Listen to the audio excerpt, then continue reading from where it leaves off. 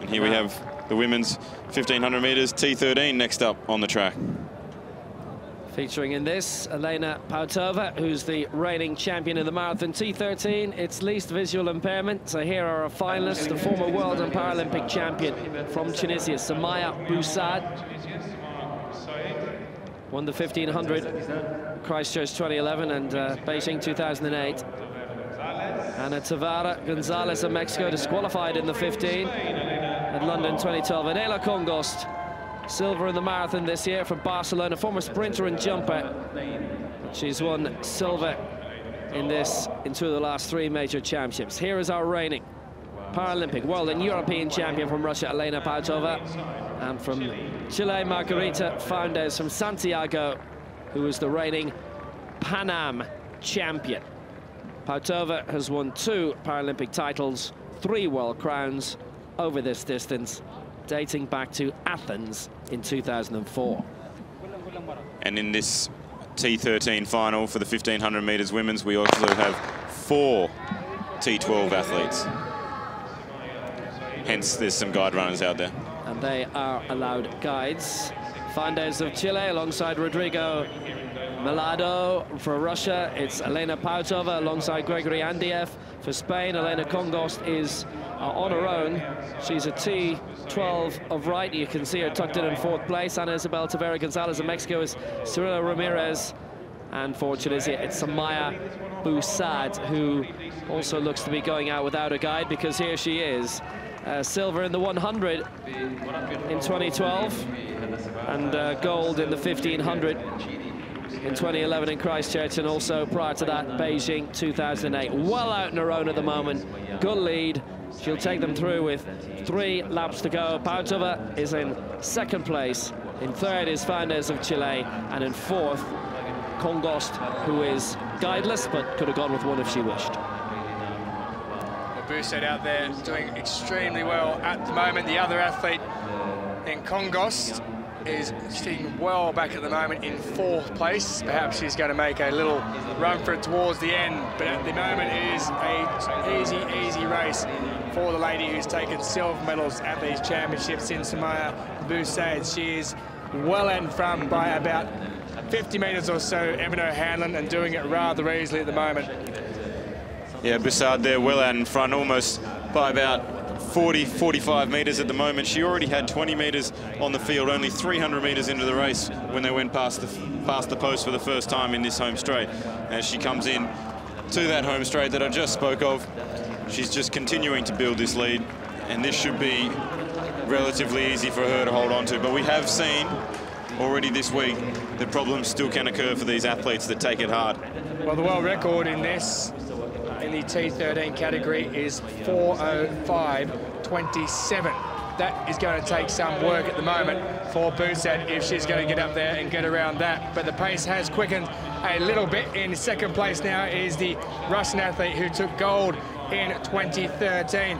She also holds the gold medal at the Paralympics in the T12 category. That there is Pautova of Russia in second place. She's quite clear there at the moment and doing it rather easily. But out front, talking of easy, it's Somaya Bousaid. She's got a lap and a half to go, and the lead is around 50, 60 metres for Somaya Bousaid at the moment taken this title twice previously at global championships but now a little bit of acceleration coming from Elena Pautova behind her and Gregory Andrea Pautova who won the marathon world title this year. The reigning European champion did that in Swansea. She's done so well. She's taken this crown in the last three world championships in Lyon in Christchurch and going all the way back to 2006 to Assen in the Netherlands. A little bit of a fight back potentially coming from her. She's beginning to uh, reel things in. There's about 50 metres right now. The bell is coming. Bousaid very much in control.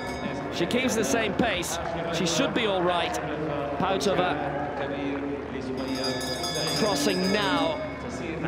There's been a slight reel in of our leader, the Tunisian. And in third place for Chile is Margarita Faundez. So 300 from home.